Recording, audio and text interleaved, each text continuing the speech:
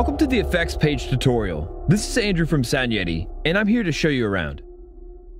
You're instantly greeted with a wide variety of tools, effects, and modulators for shaping your sound. The effects interface brings you a matrix style control over each effect parameter and three main modulation effect types. The interactions and variability you can create are almost endless. The effects interface is divided in an upper and lower half. The upper half hosts the effects controls, while the lower half hosts the modulation controls. Let's talk about the upper half. The upper half of the interface consists of a series of buttons with names of the available effects with corresponding on and off switches in the left corner. To activate an effect, click the blue switch to engage. By engaging one of these effects, the corresponding effects control panel will appear to the right.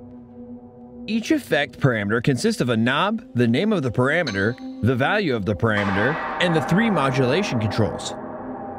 By selecting a modulation above an effect control, the effect's parameter's value is now being controlled by whichever modulation is selected. Only one modulation can be applied to a particular effect parameter at a time, but the same modulation can be applied to any number of effect parameters. When a modulation button is activated on a particular effect, the corresponding modulation controls will be displayed.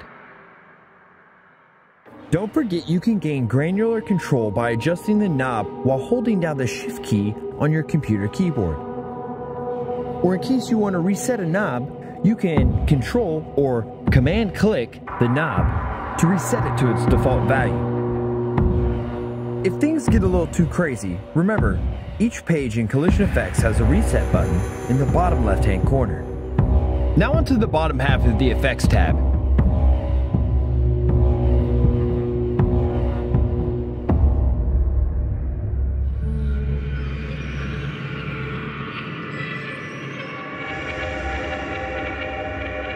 This section consists of three parts envelope, LFO, and a step sequencer.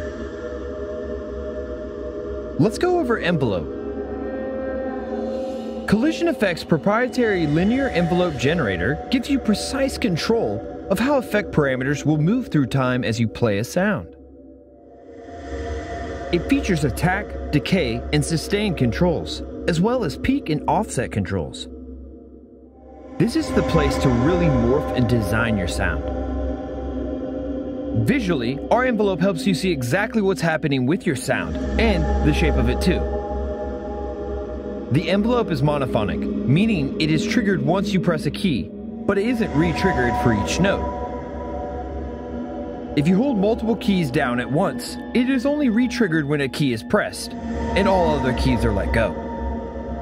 Next on the horizon, LFO.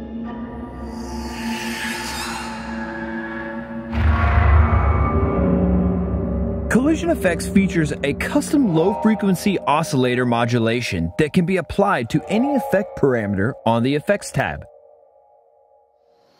It provides a selection of oscillator shapes, frequency, offset, and depth knobs, as well as a polarity inversion and fast and slow modes.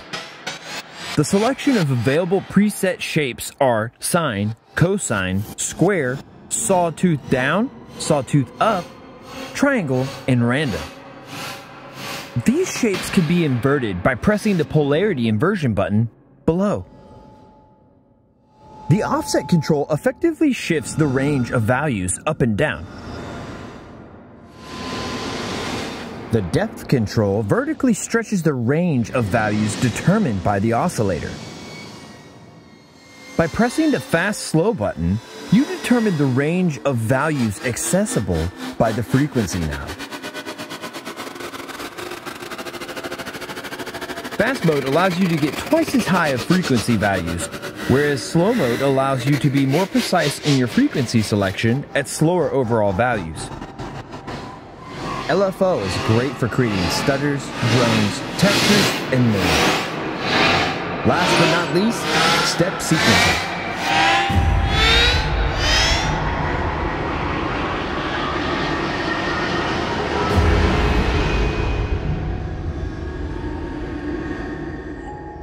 The step sequencer is a modulation type you can use for tempo syncing. You can change the shape of the curve with the preset menu or by drawing in the step window. The frequency knob determines the wave shape being drawn by the step sequencer. The total length menu determines the repetition period of the step sequencer and in turn, the step size of the sequencer. The number of step control determines the number of steps in the sequencer. Each step is in the power of 2. In order to sync the sequencer to the tempo, you have to press play in your DAW. The reset button will clear all steps to zero, and the polarity inversion switch will vertically flip anything currently drawn in the step sequencer. That concludes the effects page tutorial. Be sure to check out our other videos, and if you have any questions, drop us a line. Design away. Thanks for watching.